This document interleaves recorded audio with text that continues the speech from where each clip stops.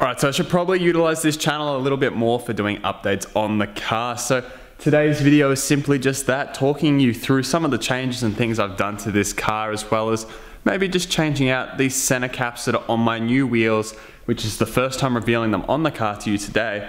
Uh, I've got to change the center caps out. The red isn't suiting, so I have to jack the car up, so I'll do all that in today's video. But I figured I'd just try this out, see what it's like to film more of my car like this, because this is something that I would love to be doing more often. So as I said, treating this video as a bit of an update video. Here's what the new wheels look like on the car, and it doesn't look like too much with a wide angle lens inside, especially in such low light. However, they look really, really cool and I'm happy with the outcome. If you want to see more photos, check out my Instagram, which will be linked in the video description, as I'll be posting up photos there shortly. I apologize here, the camera quality is going to get really bad as the light progressively gets lower. But uh, very, very happy with the overall look of how these wheels look.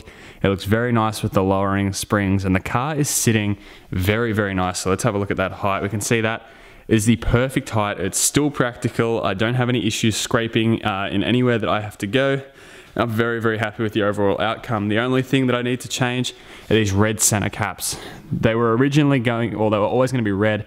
Uh, I originally planned to change these out to black, but when the time came, I didn't even think about it. I just picked the wheels up and took them home with the red ones. So I've got to take the red ones off and send them back. And we're going to swap them out for some black ones purely because they contrast really poorly with the blue brakes and I don't want to respray my brakes because they're in perfect condition and there would be no reason behind repainting them. So what I'm going to do is come over here with my super cheap auto stuff that super cheap auto have been super kind enough to send me which I'll link all in the video description I've got my air compressor hose I'm gonna also grab a uh, impact driver air impact drill and jack the car up and what I'm just gonna do is take each wheel off take those center caps out, put them back on, torque the wheels up, and that will basically be it for today's video. I just thought I'd film some more of the R36 for you guys who are interested and curious about this car. And one thing I really love about all this super cheap auto stuff is I simply just get this little air impact that I can hold in my hand like this, plug it into the air compressor. These wheel nuts are fully torqued down.